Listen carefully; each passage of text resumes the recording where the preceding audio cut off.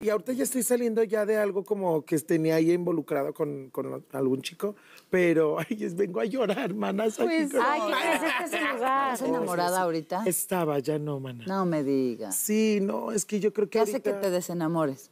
Este, yo creo que, que, la, la- que no te pongan atención y que nada más... Que te den por hecho. Exacto. Entonces yo creo que ahorita, eh, con, ahorita me está yendo muy bien y yo creo que lo peor que yo pudiera hacer en estos momentos es tener una relación con alguien o así, porque la verdad los hombres ahorita me voltean a ver por que ¿Interés? quieren y que yo les compré algo, que yo Pues no. ¿eh? Ni madre. Pues a Las he nalgas cuestan mucho dinero. Oye,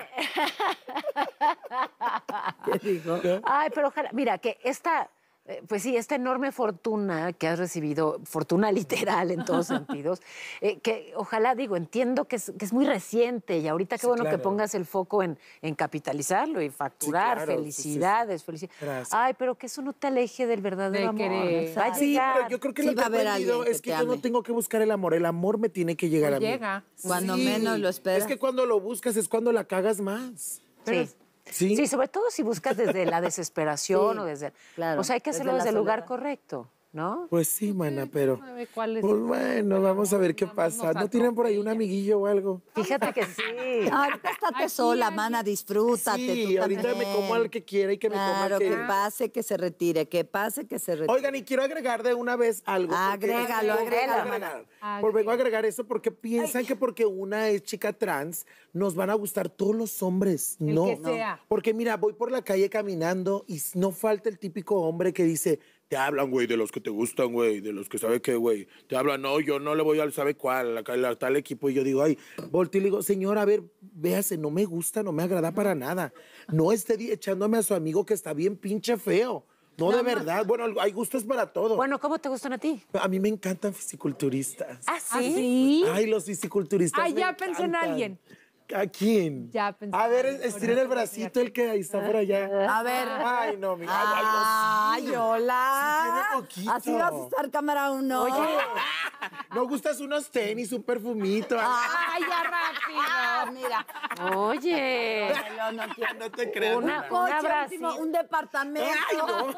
Ay, yo nada más vine a pasar por tal mal estas chicas. Oye, sí está muy hinchadito. hay niveles, Wendy, esa de, de, de, de dar. no hay niveles, visto bien, ¿verdad, ¿verdad? señora Hay nivel, Consuelo? estás frente a la del departamento A la del también, la del departamento. coche. Le puso departamento. claro. Les pone departamento. No Departamento. mames, Consuelo. Por- para que Ya no, bebé, ya cambié. el yo también, Piensa, según. piensa, Podemos cambia. Recaer, pero no podemos decir, a veces Exacto, pero no llegues a tanto, cielo, ¿eh? Ay, no. Y si te contara. Wendy, se ¿Sí? te parece un ser mágico Ajá. y te concede el deseo de cambiar por completo tu apariencia. Ok. No tiene nada que ver con el amor propio o con aceptarte como eres. Simplemente es un encantamiento que si decides no aceptarlo, no te verías como ahorita, sino completamente diferente.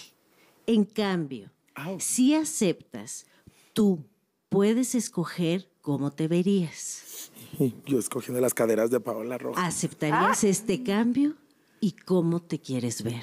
Este, no, no me gustaría aceptarlo.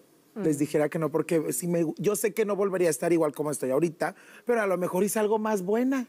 A lo mejor hice algo más bueno y más bonita de cuando de ahorita sí. No, no me, no, no, no me importa. No quiero aceptarlo. Corran a los padrinos mágicos. Ya. Sí, que se vayan los padrinos mágicos. me encanta.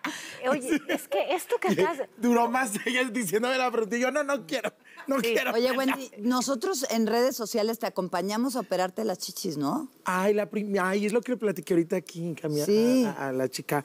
Te ¿Sabes dolía mucho, bebé. La primera vez, es que ya llevo dos. Que cambie. Ah, llevo dos, dos, ok. ya un cambio, pues. Ese fue un O sea, cambio te- ¿cómo, fuerte. tu- cómo La dos te- primera. te operaste primero una y luego la otra? No, mana, ay, que, ay, ay, qué bro. ¿Ves por qué no soy, ¿ves por qué no soy médico? Pediatra, sí. No, o sea, las primeros, los primeros implantes que me puse fue un cambio en mi vida muy fuerte. Sí, yo te Ahorita que estamos hablando de los cambios.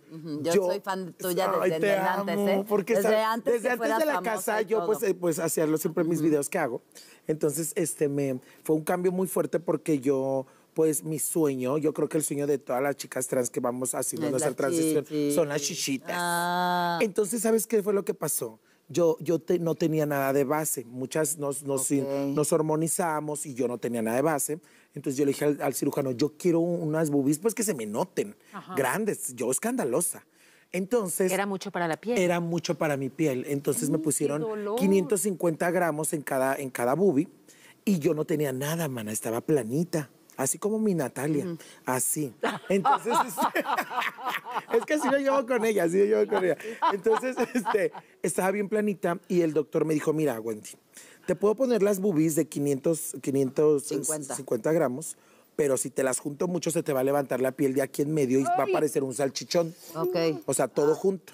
Dice, y si no, te las tengo que poner a las orillas y tú te las juntas con el bra. Ok. Y yo dije, pues lo que sea, doctor. Bueno, mejor me las junto. póngamelas. Póngamelas.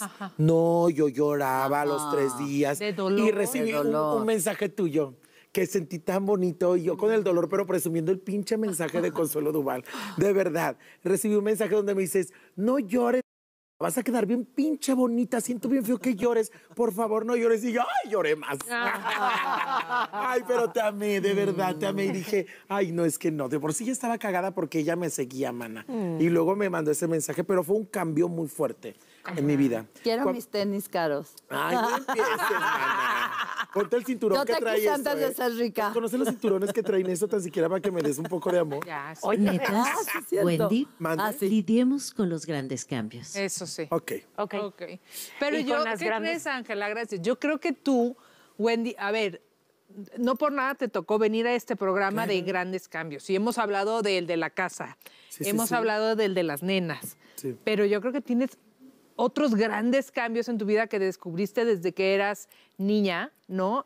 Y cómo afrontaste, en qué momento, o sea, yo sé que lo platicaste mucho en la casa, pero tal vez para la gente, o sea, esos grandes cambios de decir, tal vez nací en un cuerpo que no me corresponde, Exacto. con genitales que no me corresponden, o sea, creo que hablando de grandes ¿Cuándo te cambios en la vida no puedo pensar en uno más grande.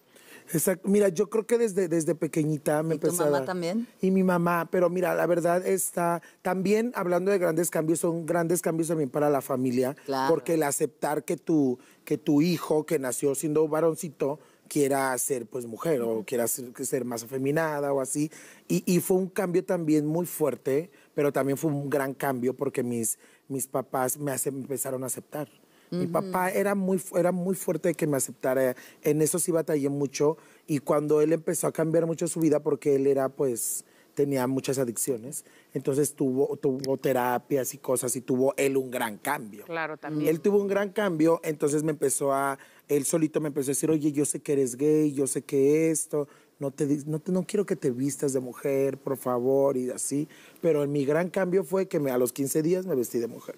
Claro. Porque yo era lo que quería. Eso es. Era lo que quería. Yo decía, bueno, me tienen que aceptar como yo, como yo soy en realidad. Te lo juro que yo me vestía de chica así como ahorita y, y yo me sentía que en realidad esa era esa, esa persona. eras tú. Era yo y se me olvidaba todo y yo decía, es que soy esta. Yo soy esta. Entonces empecé a hacer mi gran cambio. A los 15 años dices que A fue. los 15, 16 años empecé a, a trasvestirme, me trasvestí en los hoteles. ¿Y la maquillada primera? Y la, ay, yo me veía bien. ¿Por qué? Pero fea, pues sí. ¿No te sabías maquillar? Nada, mana. Ay, ¿quién te enseñó? No, pues yo solita y mis amigas, me, las más ya grandes, trans más grandes, me empezaron a enseñar a maquillarme y todo. Le robaba las de las maquillajes a mi A mamá. y huevo, a huevo. Oye, Wendy, pero siento, a ver, esto estoy como queriendo adivinar a partir de lo que veo aquí de ti eh, y lo que sé de Sí, ti. sí, sí, sí. Eh, has vivido, sí, grandes cambios, ¿no? Que, que para muchos serían difíciles de procesar. No digo que para ti necesariamente han sido fáciles, pero me da la impresión de que tú puedes con los grandes cambios porque te importa muy poco lo que opinen Sí, los demás. claro. ¿Es así? Claro que sí. Yo creo que no hubieran grandes cambios en la vida de las personas si siempre vamos a querer vivir o a estar viendo qué es lo que dicen de nosotros. Yo creo que eso es lo que más, que tienes mucha razón, porque es lo que más he ignorado y lo que he aprendido yo como, a- así como a poner un, una de que no, te me acerques. ¿Cómo? Pero ¿cómo, lo, ¿cómo logras que no te importe lo que opinan de ti? Sobre todo si Este, es para mal, pues, ¿no? Pues no sé, yo tengo que ver por mi, por mi bienestar, por mi paz mental, ¿no? Yo creo que es lo principal. Entonces, este, también formó parte de mis grandes cambios. Yo tuve una de pequeñito, entonces, este, sí tomé terapia y, y empecé a tener, pues, grandes cambios en mi mente, en mi, o sea, mi familia, porque era, pues, se hizo mucho escándalo en León. ¿Qué edad tenías? Yo tenía ocho o siete años. Mm. Estaba muy pequeñito. Entonces, ¿sabes qué? Fue mu- mucho pedo, fue mucho pedo. Entonces, para vivir ese cambio fue, pues, psicólogos, este, muchas cosas así. Entonces, como se, se salió en las noticias y todo, yo dejé de ir a la escuela, porque Claro. en la escuela me decían, ay, que, o sea, los- ya sabes que están, a veces estamos pequeños y no sabemos ni qué onda. Entonces me decían, ay, que te la crónica, sí, se reían y todo. Entonces mi mamá dijo, no, pues no puede ir a la escuela. Entonces también fue, Claro, ese fue, por ese fue un cambio feo. ¿Cómo no? Pero, pero todo empezó a balancearse de a poquito. Pero sabes que nosotras que tenemos la fortuna de tener este escaparate y platicar, Claro. yo, a- a- a- muchos nos agradecen, ¿no? Cuando contamos, ¿no? Algo de nuestros hijos. Tú que desde niña, me imagino, te sentías en un cuerpo tan ajeno. Ajá. ¿Qué le dirías hoy a estos papás que tal vez lo están viviendo y no saben exactamente cómo lidiar con ese cambio que tienen que afrontar? Pues yo creo que, que a mí me encantaría que, que fueran a terapia. Yo creo que, que lo mejor de en esta vida es ir a terapia. Yo después de también de, para tener, fíjate, tuve un gran cambio en la casa de los famosos. Me fue súper bien y todo, pero yo seguí yendo a terapia. Claro. Entonces de ahí aprendes muchas cosas y tienes un cambio muy bonito porque empiezas a, a- a separar las cosas que, que, es, que sabemos que está malo, pero nosotros creemos que es bueno. Entonces muchísimas cosas he aprendido y, y a veces sigo con mis terapias por, por el celular, me con videollamada y todo eso. Y, y yo creo que lo mejor que pueden hacer los papás para, para aceptar a sus hijos es eso. Es eso. Y ya créeme que cuando ya los nuestros papás nos aceptan, ya lo demás, la sociedad no Te vale importa. madre, claro. Exacto. Oye, Marlon, o ¿Marlon ya fue? Es mi amigo. Ok, Marlon se quedó de amigo. Fue tu Pero es novio, el ¿no? que Nunca fue mi novio. Nunca fue tu Ah, o sea, novio, no es el que cállate. estabas hablando al principio cuando llegaste al No. Ah, no, es otro chavo. Ah, o sea, tú. Ah, Es que yo tengo mucho amor para dar. Es que él no es mi novio, el que entró a la casa. Ajá. Es muy mi amigo. De primero sí me gustaba mucho y la verdad yo quería todo con él y así ¿Y no padre. te peló? Pero no, siempre, y yo creo que a veces está también bonito tener siempre De amigos. amistades, porque luego ya si te comes con el amistad y todo, ya después dejan de ser amigos y valió.